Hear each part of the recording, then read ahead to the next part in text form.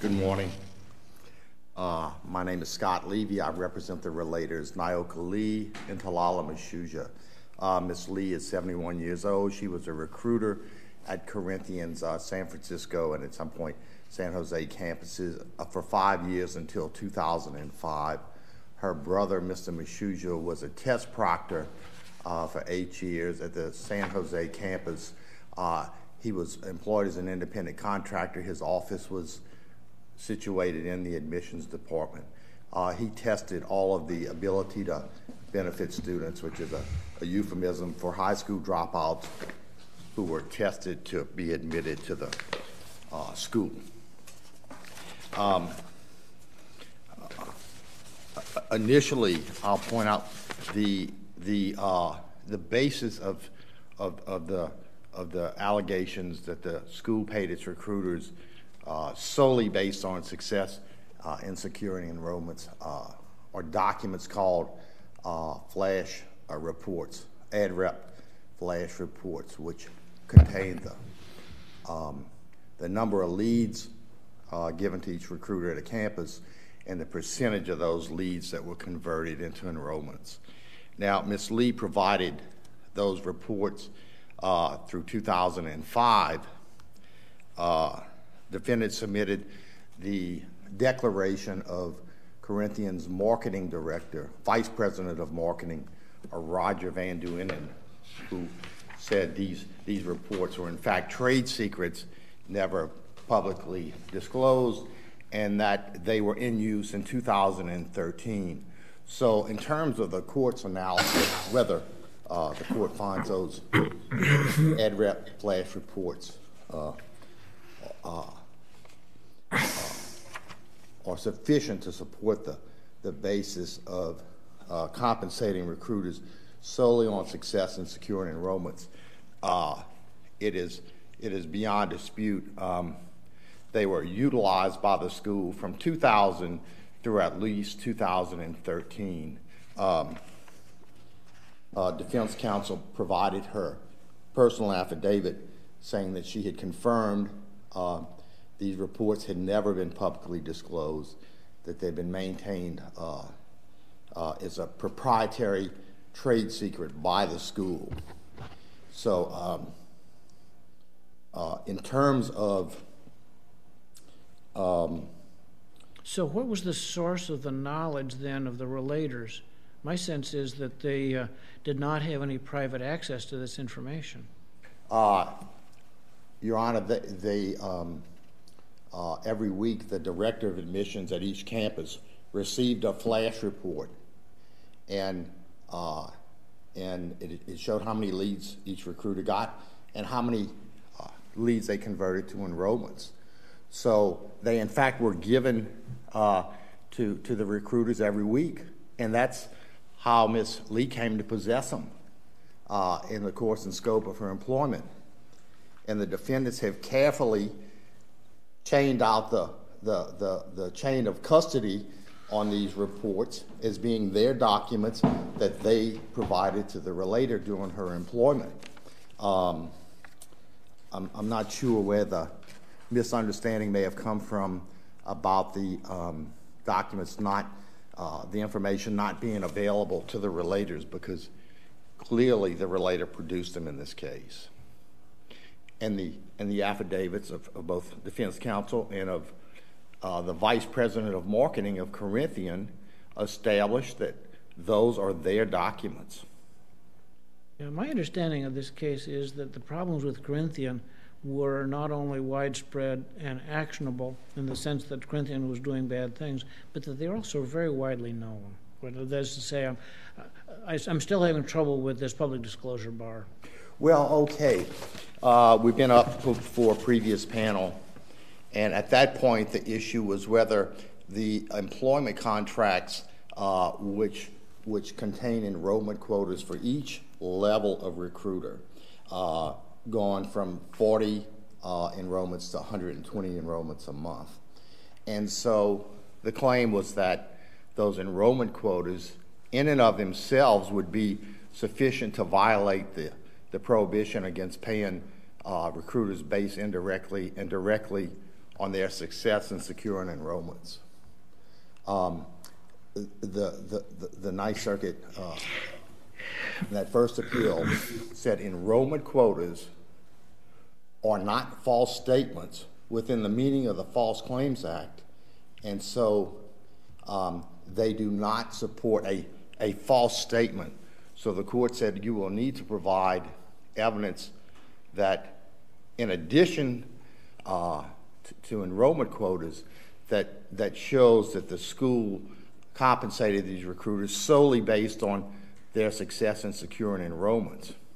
So the court made a very clear line that any allegation that related to enrollment quotas would not be considered uh, a violation of the False Claims Act and would not be a quote false statement under the False Claims Act. So, so if you the point at which I'm rather more sympathetic to your side of the case is I'm somewhat concerned by the attorney's fees award. Um, as I understand it, the district court awarded attorney's fees for the entire course of litigation. That's correct, Your Honor. So help me understand why that was a mistake. Well, well, first of all, the district court found that that the relators filed were quote spurred to file suit after a settlement in a similar case by the University of Phoenix, which I think was $68 million, and the relators' share was $19 million. That settlement was, in fact, years after the suit was brought. That settlement was December 2009. This suit was brought in March 2006. There was absolutely no way the relators uh, could have known about a settlement three years after the suit was brought. So the district court's factual findings are just chronologically not possible. Um, that's the entire basis of. Yeah, it occurs to me that there may be a basis for an attorney fee award, not for the entire course of litigation, but for litigation uh, beginning with the first amended complaint. That is to say, the first amended complaint may be on shakier ground than the earlier complaint. Could you respond to that? Well, and so I, just started with the court and said the ad rep flash reports that my client produced were from the period of her employment um, through 2005, and Corinthian's vice president of marketing said those reports came from Corinthian's proprietary database and that th- those are currently being used at the time of the affidavit. So that's why I initially laid that foundation so the court does not get caught up in this uh, false argument that there is some difference in the allegations in the in the original complaint and in the amended complaint. Certainly, and they've admitted this. Um, uh, these flash reports have never had never previously been disclosed. Okay. Um, The second part of the case is the, district court held that the, the, um, the disclosure, the public disclosure it found as Corinthian, inoculated the auditors because any public disclosures to the school uh, would, would, would, would automatically insulate the auditors from liability. Uh, the problem with this is that uh, the U.S. government is the is the biggest contractor in the U.S. and all of these government programs require an audit under government auditing standards. Uh, these are statutory audits that are independently required. So the ruling as it is would allow the um, uh, the auditors in all cases where there is there is some allegation or rumor or innuendo uh, about a company, uh, the auditor can always claim it should be exonerated because that information was, was, was publicly known. Um, the consequences to the government, uh, and not just in the, in the for profit education sector, is that you, you're, you're eviscerating uh, the auditor's responsibility. Um, I'm going to reserve my reigning time until after the, uh, the appellee speak. Thank you. Thank you.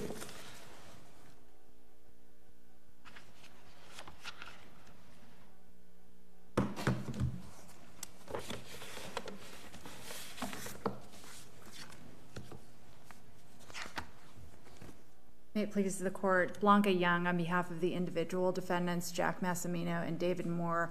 I know I'm listed on the pleadings as counsel for Corinthian. I don't represent Corinthian anymore. They are dissolved and don't exist.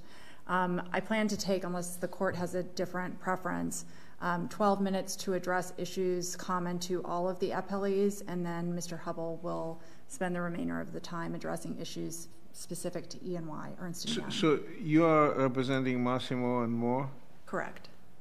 And that's it. That's it, That's okay. correct.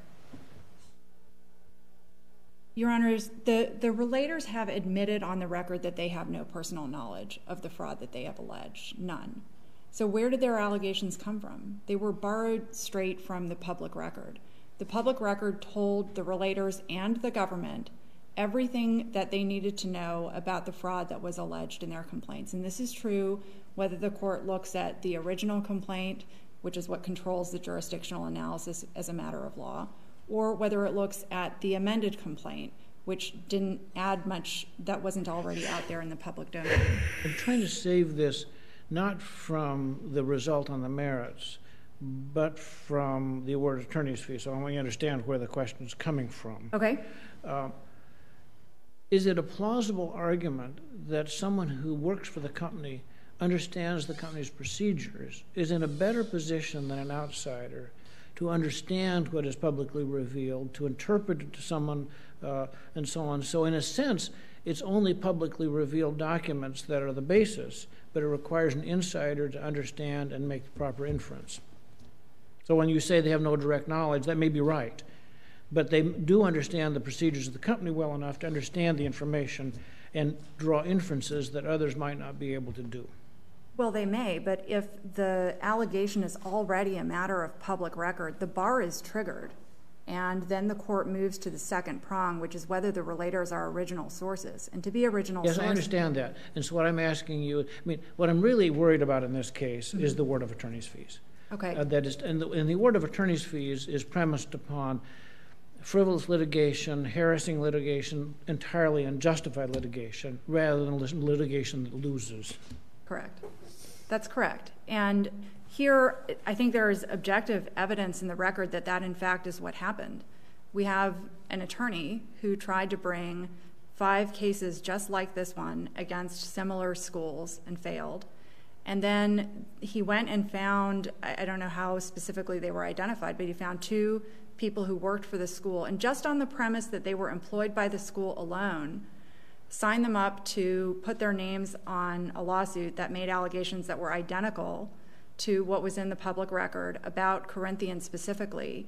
And had he simply asked them the questions we asked these relators at their depositions, it would have been evident that they didn't actually know of any fraud occurring at the school. Yes, they had insight into how the admissions department worked. One of them worked at the school for a period of time in admissions, the other didn't. He was a test proctor and had no responsibility for admitting anybody, and he had no insight into how admissions representatives were compensated other than what his sister told him.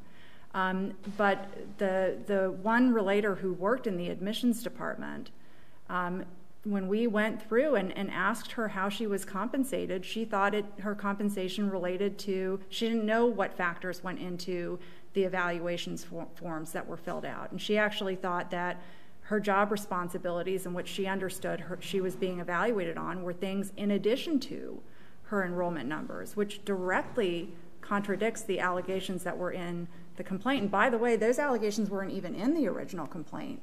They didn't get added to the case until after this court agreed that the original complaint didn't even have enough facts in it to state a plausible claim for relief. And then the allegation that this was a sham compensation system was just, again, borrowed and copied almost word for word out of the public record.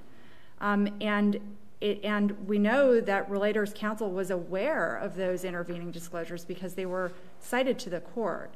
So I think the Rockwell case is a good example of that's the Supreme Court case on original source. And it's a good example of um, the rule that just because you are employed in a certain place and work in a certain department that happens to be an issue, at issue, that's not enough to give uh, an attorney practitioner in this area any confidence that the person qualifies as an original source. The other point I would make about that is that Ms. Lee, who was the admissions representative, the relator, um, ended her employment, I think it was in March or May of 2005. The allegations in the original complaint say that in 2005 and following, Corinthian committed incentive compensation fraud. So, on its face, the allegations don't even align with the time period during which Ms. Lee was actually employed in admissions. And when we asked her, you know, when did you get raises and when did you get salary increases and promotions during your tenure at Corinthian, that all happened prior to 2005. So this is not a situation where the relators had, you know, direct and independent knowledge of any relevant time period. And I think the the district court correctly found when they tried to amend their complaint to capture that earlier time period, it just couldn't relate back. Um, so, so the public disclosures here very clearly told the relators and the rest of the world everything they needed to know to make the allegations that showed up in the original complaint and to make the allegations that showed up in the first amended complaint. So, um, you know, again, our position is that the original complaint controls the analysis as a matter of law. That's the time of filing rule that this court has applied in the Morongo case. It's applied it in the in the public disclosure false claims act context in the newsham case the original complaint uh, basically repeats what was already in the securities class action litigation that was filed against Corinthian, which has an entire section titled, quote, false statements concerning payment of incentive compensation, end quote, and makes the same allegation about a corporate wide practice to pay raises and bonuses to recruiters based on meeting their enrollment quotas. And uh, this argument that um, you know the Ninth Circuit found that enrollment quotas are illegal is just wrong as a matter of law. They are not legal um, if they are the only basis for awarding um, compensation or, giving a raise to a recruiter. And that is what the court actually held in Lee.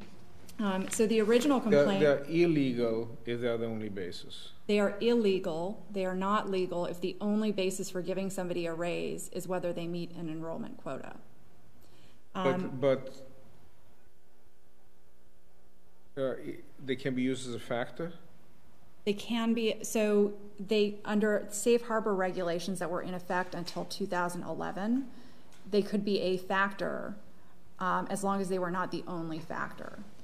So the problem with the initial complaint in this case is that it alleged that admissions representatives had to meet quotas in order to get raises, but there it also cited the compensation plan that Corinthian used, which said in addition to that you have to get a good performance rating, and there were no plausible facts in the record from which you could infer that you know you get a, about how you get a good performance rating. So that could be based on non-numerical enrollment criteria, or it could be based on other factors that would make the rule compliant. Um, so they were given a chance to, uh, to amend their complaint, and then when they did, they just borrowed from public disclosures that said um, there was an entire Department of Education rulemaking in which this very safe harbor was revoked because the department was concerned that schools were using the safe harbor as a front to hide non-compliant practices. So they were doing things like having plans that on paper looked like they were evaluating factors in addition to enrollments, but in practice they were not. And the same language just gets imported into the relator's first amended complaint. Um, but those allegations were foreshadowed even before the original complaint was filed by the securities class action plaintiffs, who in their complaint talked about Um, you know, that, that Corinthian was giving raises and bonuses to recruiters based on enrollment quotas, and doing so in the context of a corporate culture in which, quote, rules were meant to be broken and a stated policy of no lying, cheating, or stealing was a quote front for the very conduct that it purported to prohibit. And so, you know, if you're the government with those allegations in hand, you would not be doing your job if you said, well, I just want to take a look at your written plan and not look behind it to see what you're doing because this is a corporation that's alleged to be breaking its own rules as a matter of its corporate culture. Um, I want to talk briefly about um, the flash reports that Mr. Levy mentioned. Flash reports are not mentioned in any of the complaints the relators filed, not in the original complaint, not in the amended complaint. They are mentioned, however, in the public disclosures. In the securities class action complaint, there are paragraphs and paragraphs in their complaint about how Corinthian has a program that it's a sophisticated information system that tracks all kinds of things from lead flow to starts. And then they quote from confidential witnesses who held positions similar to Relator Lee, who talk about how um, they describe their job responsibilities as including and preparing and circulating weekly flash reports with enrollment data to senior executives. And another confidential witnesses who says yearly raises were based on whether enrollment quotas were met, and this witness was also responsible for sending weekly flash reports to corporate managers. So nothing that the relators are saying here is new. Um, I want to spend just a few minutes talking about my individual clients, Jack Massimino and David Moore. They are both mentioned by name in the securities class action complaint. David Moore is a defendant in that case, and Jack Massimino is identified as his successor, and all the conduct is alleged that's alleged to have happened during David Moore's tenure is alleged to have continued.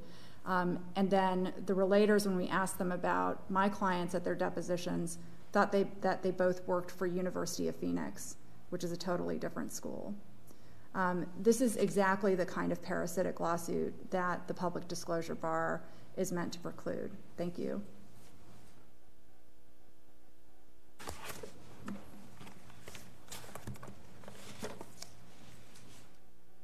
May it please, please the court, Robert Hubble. I represent appellee and defendant Ernst & Young.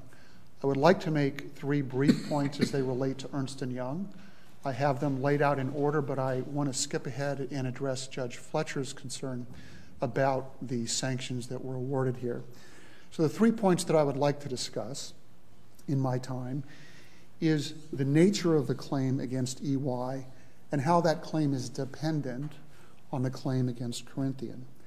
Second, I would like to discuss how the nature of that claim affects the analysis of the public disclosure as to EY.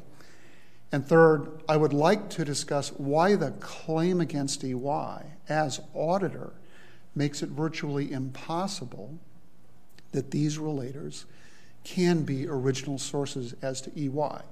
Which brings me to Judge Fletcher's question, which I think generally went to the, question, to, to the notion that perhaps insiders might be able to look at public disclosures and have a different assessment of those public disclosures. And how does that relate to sanctions? So, Ernst & Young was the financial statement auditor for Corinthian. These relators worked, worked in the admissions department and as a test proctor. They had absolutely no interaction with Ernst & Young. In fact, I think a fair characterization of their testimony is that they were surprised to see that Ernst & Young showed up as a defendant here. Relator Suja indicated that his knowledge of Ernst & Young was based largely on Wikipedia and Google searches that he had conducted. In the original complaint, Relator simply got it wrong as to what EY's role was. They alleged that EY was the compliance auditor. It was not. There was a different auditor who served that role. That auditor's compliance opinion is in the record. Ernst & Young instead was the financial statement auditor, and it was not until the first amended complaint that relators finally conceded that indeed Ernst & Young wasn't the compliance auditor, but they simply pivoted and said, but it should have been. So it doesn't really matter, apparently, what the facts are. Whatever is necessary to allege a, complaint that they believe can withstand a motion to dismiss is something that these relators apparently were willing to do through their counsel. Which brings us to, I think, the, the issue that particularly bothered the district court. These relators testified, presumably truthfully, at their deposition about their knowledge and their lack of knowledge. Thereafter, a affidavit was submitted to the court that contradicted. It didn't explain, it did not enlarge their deposition testimony. It contradicted their deposition testimony. Now, in the court's order, uh, the district court cited a number of other vexatious type um, activities, and I agree with Judge, Your Honor, with your observation that much of this postdated the filing of the First amended complaint. But I believe Mr. Levy said that the only basis for the sanction was some misunderstanding about whether relators were spurred by a specific lawsuit. Uh, that is just simply belied by the district court's order, citing numerous instances of uh, conduct by counsel that it found vexatious and in bad faith. Let me briefly address the nature no, of. I, I, I lost track and all of that. I was trying to listen carefully to what you were saying, but the thing you said you're going to start off with is to, to address the Judge Fletcher's question about the sanctions. I never got the point. I have no idea what you said. Why don't you try to say it in plain English in yes, less than six sentences? Yes. So the question that I understood Judge Fletcher was asking was whether these relators had any particular knowledge about the public disclosures that might allow them to bring something new to the table, and whether that somehow bore on the question of sanctions. And, and, and my point, Your Honor, was that as to Ernst & Young, they had absolutely no knowledge about the public disclosures, and therefore their allegations are baseless. Um, in addition, they presented affidavits to the court that contradicted their deposition testimony. That has nothing to do with their status as insiders and whether the award of sanctions is appropriate. I'm not sure I understand that. I mean, you sort of threw that in. What does the contradiction have to do with the sanctions? The fact that Mr. Levy, as Relators Counsel, submitted to the court a, an affidavit which, it, which the court believed was submitted in bad faith because the affidavit itself contradicted their deposition testimony. I'm a little bit at a loss here. Sometimes you have contradictory facts in a case. And sometimes you even have contradictory statements from the same witnesses. People forget, people get confused. I mean, it doesn't look good at trial if you have contradictory statements. I, I can see that, but uh, I, I don't quite understand what that has to do with bad faith. The district court's determination was that the purpose of the affidavit was to refute the sworn testimony of the relators at their deposition, at which they testified that there were multiple bases for their compensation and their bonuses.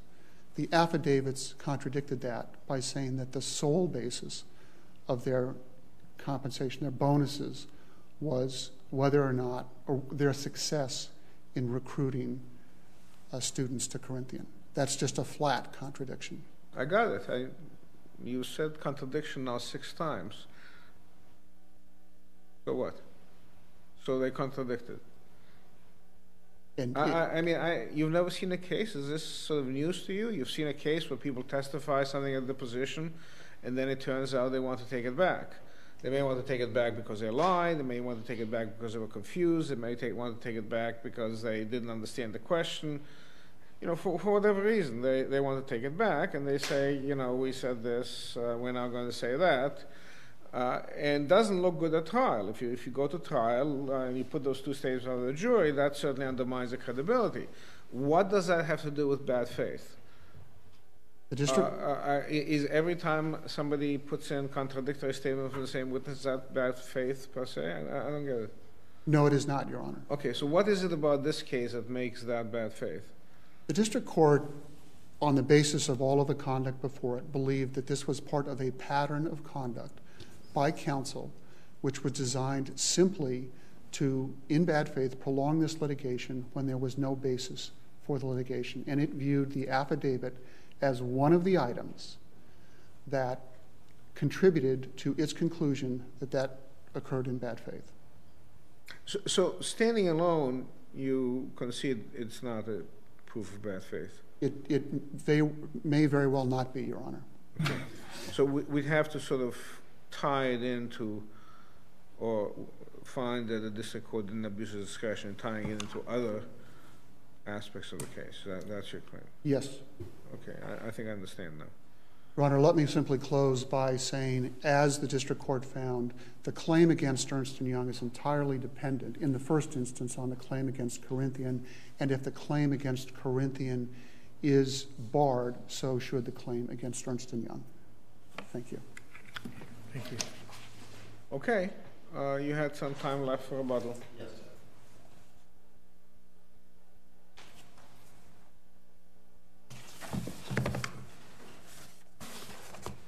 I just want to point out again as I started, the defendant has, has filed these, has, has moved to file these ad rep flash reports under seal. Counsel and the vice president of marketing have, have traced the chain of custody of the documents that were later produced in this case, and they have said they were never publicly disclosed. Congresswoman Waters wrote to the court and said there are 30 state AGs investigating this company. I urge the district court do not seal these documents. The Illinois Attorney General sent me a subpoena because they wanted the documents. Corinthian immediately moved to seal the documents. They said this is proprietary information in these flash reports. Let me explain what a flash report is. Let's suppose you have two recruiters, and each one of them recruits 15 students. One recruiter got 20 leads, and so he converted uh, 75% of his leads to enrollments. The second recruiter, who also got 15 recruitments, enrollments, he got 25 leads. So his conversion rate is only 60%. The original panel said, you have to show us that this good versus um, uh, excellent rating it depends on enrollment. The lead to conversion uh, ratios stated in the, in the flash reports are those reports. It's not just based on the testimony of Ms. Lee. Um, to say that she didn't have knowledge after the defendants have, have filed these affidavits establishing those are the company documents and had them placed under seal um, is, is simply just, uh, uh, it's not reasonable. Um, as far as the public disclosure, the securities class action case came up to the Ninth Circuit. It was dismissed by the district court. The law firm, Ms. Young's law firm, also defended Corinthian and the class action lawsuit. So they had intimate knowledge of that class action lawsuit. Uh, it took them five years to raise this public disclosure argument. Um, um, they didn't. They didn't. They filed two sets of uh, uh, motions to dismiss. The case went up on appeal. Uh, a panel of this court uh, examined the, claims. When it was remanded back, defendants didn't file a motion to dismiss on public disclosure grounds. They filed a new round of motions to dismiss. The, the brief filed in this court, in the securities case, it, it discussed a finding at one campus that the, recruit, that the financial aid people were telling the students inflate the number of uh, dependents you have because it'll increase the amount of student aid uh, you can you can get here. So that was that was eventually uncovered. Uh, the, the price of the stock dropped, and Milberg Weiss filed a 300 page complaint saying this was a massive fraud.